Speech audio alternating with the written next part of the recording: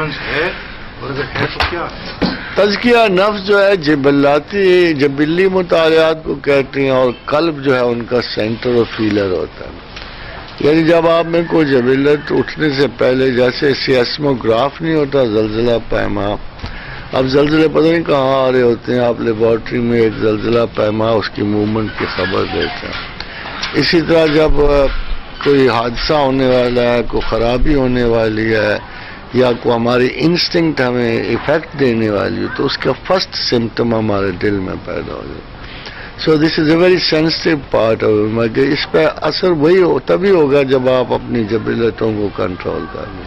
तो असल में तस्किया जे नफ्स जो है, वही इम्पोर्टेंट है, जो जबीलतों का शूर है, उनका इदराक है, और उनको दुरुस्त करने की मैथडोलॉजी दिल तो खुद ब खुद उनके मुताबिक चलता है। वो साफ़ होते जाएँगे दिल साफ़ होता जाएगा। वो खराब होंगे दिल खराब होता जाएगा। प्रिलिमिनरी स्टेज है। बताते खुद दिल पढ़ने वाली चीज़ ही नहीं है ब्लाइंड मोटिवेशन होती है। मगर जो पढ़ने वाली चीज़ है वो हमारे इल्म में है। जैसे साइकोलॉजी ने आपकी बाईस जबिलतों की निशानदेही कर दी।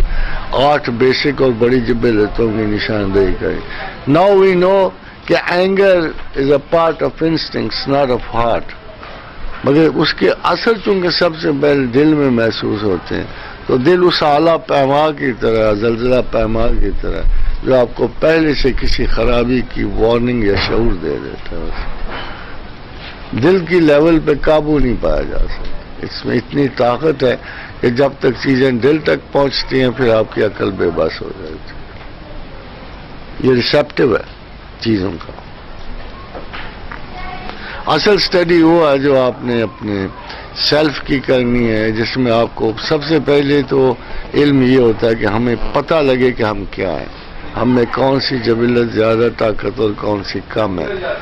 वो पता लग सकता है। अगर आपको भूख ज़्यादा लग रही है तो आपको पता है कि यार even in spite of satisfying my hunger I am still hungry अगर आपको पावर चाहिए और उसके लिए आप मूवमेंट कर रहे हो दुनिया में तो आपको पता लग जाता है कि I am doing this to achieve more power more dignity इसी तरह इल्म के रस्ते में मैं दस किताबें ज़्यादा पढ़ रहा हूँ, मुझे पता है कि I am trying to know better तो उन चीज़ों का पता लग जाता है, दिल का कुछ पता नहीं लगता। ये ब्लाइंड मोटिवेशन मगर ताकतवर इतना है कि जब चीज़ें इसके साथ पलटाई जाती हैं तो ये दिमाग मुअत्तल कर देता है।